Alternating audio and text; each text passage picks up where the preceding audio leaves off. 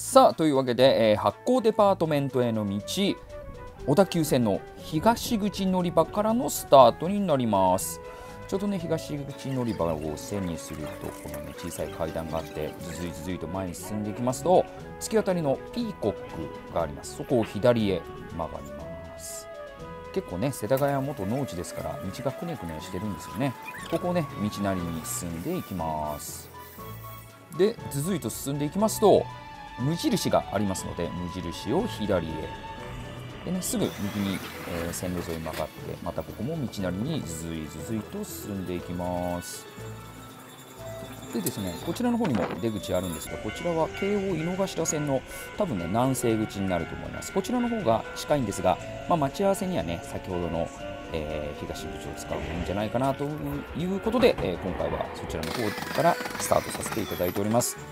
えー、踏切を渡りますと結構ね車通り多いですが、えー、このね道をひたすらまっすぐ進みます。はい車結構多いですね。もうこの日もねとにかく暑かったんです。でね大体、えー、目的地の発酵デパートメントへはこの道ずっと通っていくと先ほどの、え、小田急の東口からだと大体10分。先ほどの京王井の頭線の、え、出口からだと大体56分ですかね。はいでね、えー、不安になるほどまっすぐ行くと、えー、こちら右側に下北沢ベースと青空浩二さん、漫才師さんですね、今政治家やられてるみたいなんですけど、えー、その連絡所があって、もうそこまでね行き着きますとすぐ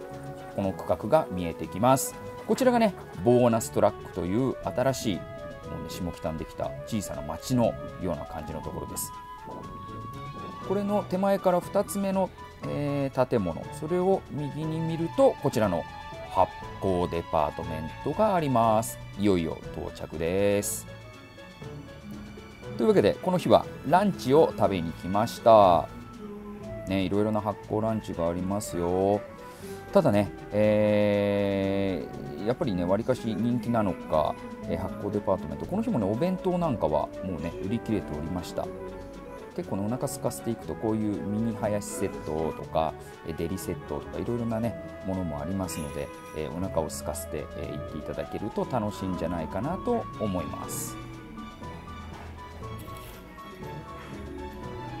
えこの発酵ハヤシライスも良かったんですがこの日はですねやっぱもうさすがに暑かったということで、えー、ちょっとね麺をつるつる食べたいということで僕はこちらのトマト麹の米粉麺にしました。しかもねこれね嬉しいのが小鉢がいっぱいついてるんですよ。こうねビーツだったりとかね、えー、カプだったりとか、えー、もちろんねお味噌汁も発酵食品ですから。そしてね、えー、少し味変をするのに、えー、金山寺味噌と、えー、缶ずりなんかも添えられていました。うーんいいでしょう涼やかで。はいというわけで僕ですねいただきますと。いやもうねお腹僕は空かせていったんでもうがっつくんですがまあ早送りでご覧ください。このね米粉の麺ものすごいもちもちして美味しかったんです。ね、帰り買ってこうと思ったんですがまだねこれ販売の方はしていないということだったんですがこれねぜひ皆さんにこの食感食べていただきたいなと思います。というわけでねこういう動画もちょこちょこ上げておりますのでぜひいいねチャンネル登録などなどもよろしくお願いいたします。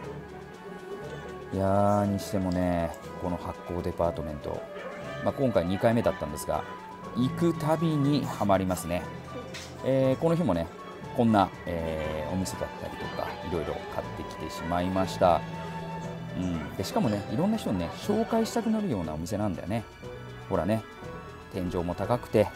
なんかね開放的ですごくいいです。夕方からはね角打ちなんかもやってるんで楽しめると思います。